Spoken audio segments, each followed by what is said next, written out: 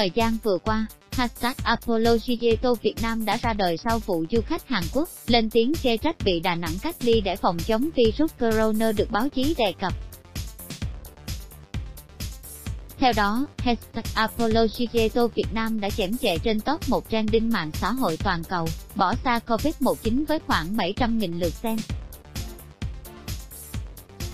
Theo đó hầu hết các bài đăng đều kêu gọi một lời xin lỗi chính thức từ những du khách vừa trẻ về từ Đà Nẵng, yêu cầu đài ITN phải dỡ bỏ đoạn clip gây bức xúc của mình.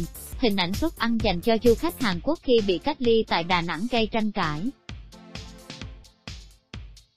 Ảnh chụp màn hình mới đây, trang tin Hàn Quốc yêu bâu đã đăng tải một bài báo đề cập đến vấn đề này, khi nêu rõ vụ việc du khách Hàn cho rằng họ chỉ được cho ăn vài mẫu bánh mì vào buổi sáng khiến dư luận Việt Nam hết sức phẫn nộ. Tờ Hankook Quốc yêu bâu đã dẫn lại lời của khá nhiều dân mạng Việt Nam với nội dung, giống như kim chi của Hàn Quốc, bánh mì chính là niềm tự hào của Việt Nam, bánh mì là một trong 10 món ăn ngon nhất trên thế giới, và Tổng thống Mỹ cũng đã từng ăn bánh mì Việt Nam đấy, đừng bao giờ quay trở lại đây.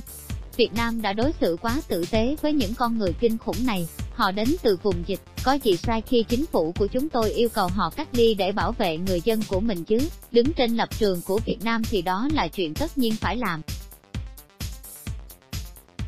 Chính phủ của chúng tôi chỉ đang bảo vệ người dân của mình và 100.000 người Hàn Quốc đang sống ở đây thôi. Họ chống đối cái gì chứ? Phản ứng của cộng đồng mạng Việt Nam đến tai truyền thông Hàn ảnh, chụp màn hình tờ này cũng đã lấy ý kiến của Bộ Ngoại giao Hàn Quốc vào ngày 25 tháng 2. Thành phố Đà Nẵng đã cung cấp bữa ăn đầy đủ cho những người Hàn Quốc bị cách ly.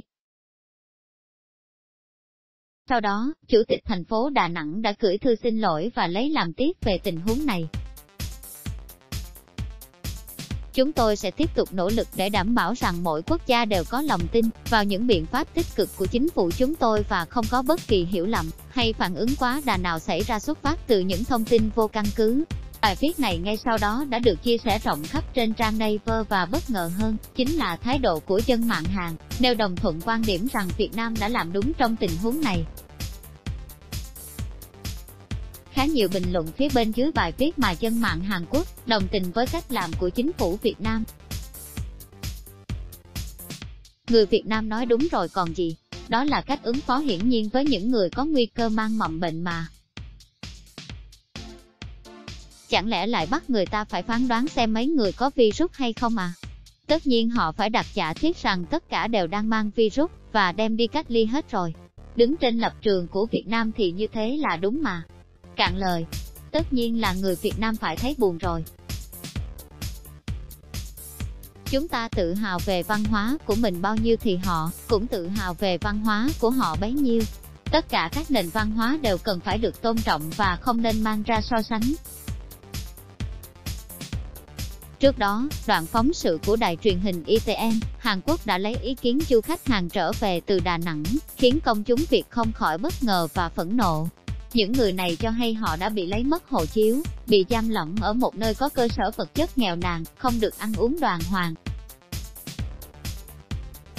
Tuy nhiên, khi so với những hình ảnh được chia sẻ, trên bản tin có thể thấy đoàn khách này đã được chuẩn bị bánh mì, và phần cơm rất đầy đủ.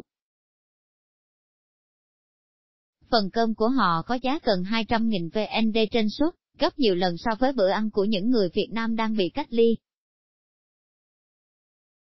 Đáp trả lại phóng sự của các đồng nghiệp Hàn Quốc, đài truyền hình Việt Nam đã bất ngờ thực hiện một bài phóng sự về bánh mì Việt Nam.